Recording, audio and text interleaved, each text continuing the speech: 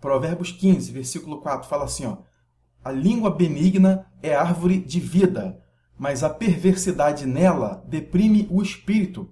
Então você vê que uma boca que pronuncia boas palavras abençoa, é árvore de vida. Ai que benção, hein? Glória a Deus. Agora você está ouvindo o quê? Árvore de vida. Você está ouvindo uma boa palavra que está te abençoando, que está te fortalecendo, te encorajando, te mostrando o caminho da verdade, te dando uma dica, por assim dizer, né, uma sacada espiritual da promessa de Deus.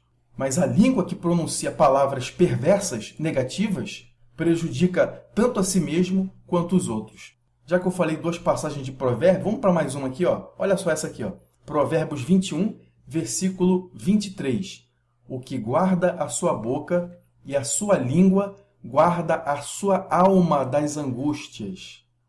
Se ligou nisso, amado? Olha aí, ó. Quem guarda a sua boca e a sua língua guarda a sua alma das angústias. Então você pode ter uma vida melhor nas suas emoções, verdade?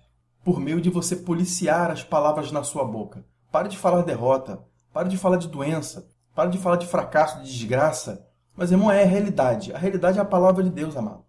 Fale o que a palavra de Deus promete para você e deixa Deus fazer do jeito dele, ok? Então você vê que as palavras elas são importantes. Por quê? Porque a sua mente e a sua fé respondem a tudo o que você diz. Ah, quantos cristãos não sabem disso, né? Falam desgraça, morte, é, anunciam coisas ruins e aquilo tudo acaba acontecendo com a pessoa e quem está perto dela também. Mas agora que você descobriu que morte e vida estão no poder da língua, você vai policiar isso aí. Que língua benigna é árvore de vida e que a boca que fala perversidade deprime o espírito. Ah, agora você vai colocar a palavra de Deus na sua boca. Você vai falar palavras positivas em nome de Jesus. Então nunca verbalize algo que você não quer que aconteça. Se você não quer que aquilo aconteça, não fale isso, meu irmão. Fale o contrário. Mesmo que as situações estejam apontando que isso aí vai acontecer, mesmo assim, não fale. Fale a palavra de Deus. Force a palavra de Deus na sua boca. Entendeu? Então, ore pelas suas expectativas, não a respeito das suas experiências. Ore pelos seus sonhos. Entregue as coisas a Deus. Mas durante o dia, só fale coisas positivas.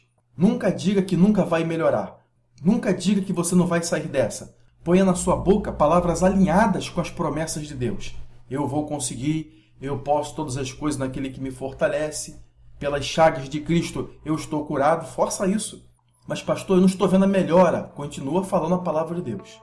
Até chegar lá, pelas chagas de Cristo eu estou curado. Aleluia, glória a Deus. Sou protegido, guiado por Deus.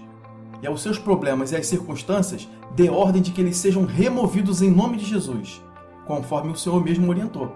Então fale a sua montanha, meu irmão com fé e espere com paciência que ela vai ser removida e ande em vitória e prepare-se para o melhor de Deus e as mudanças na sua vida em nome de Jesus.